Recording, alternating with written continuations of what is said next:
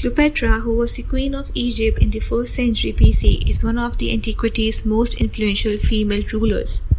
She was the last ruler of the Macedonian dynasty, the last descendant of Ptolemy, general of Alexander. Her life inspired many films and dramatizations, including one of the most famous plays of Shakespeare, Antony and Cleopatra. Much of her accounts comes from Greece, Roman scholars, and most notably from Plutarch. She was born around 70 or 69 BC. After the death of her father Ptolemy II, the throne passed to her and her 10 years old younger brother, Ptolemy XIII. Soon complications arose between Cleopatra and Ptolemy XIII after they assumed power. Eventually, Cleopatra had to flee Syria, where she assembled an army in order to seize power. During this time, when she returned to Egypt to counter her brother, Rome was in the middle of civil war between Julius Caesar and Pompey. Pompey fled to Egypt. Ptolemy, in order to curry favor with Caesar, murdered his rival Pompey.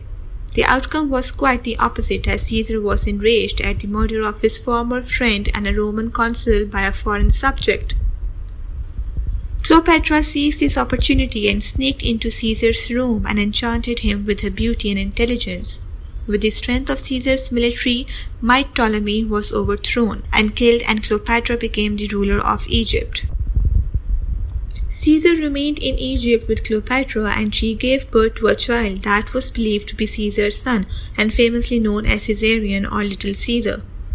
Although Caesar never publicly declared the child to be his son, Cleopatra brought relative stability to the region as her reign was prosperous and peaceful.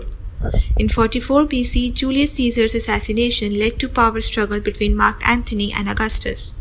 The antagonism between them grew into civil war. Cleopatra, who was involved in romantic affair with Mark Antony, joined his side against Augustus and finally their forces met on the west coast of Greece. Antony and Cleopatra were finally beaten in the battle and escaped back to Egypt. However, Octavian's forces allowed the couple. Her death is grounded by mystery and romance. After hearing the false news of death of Cleopatra, Antony committed suicide and when Cleopatra came to know about the death of Mark Antony, she also committed suicide by allowing a poisonous cobra to bite her. After her death, Octavian took control of Egypt and it became a province of Roman Empire. Egyptian Empire ended with her death and she was the last pharaoh of Egypt.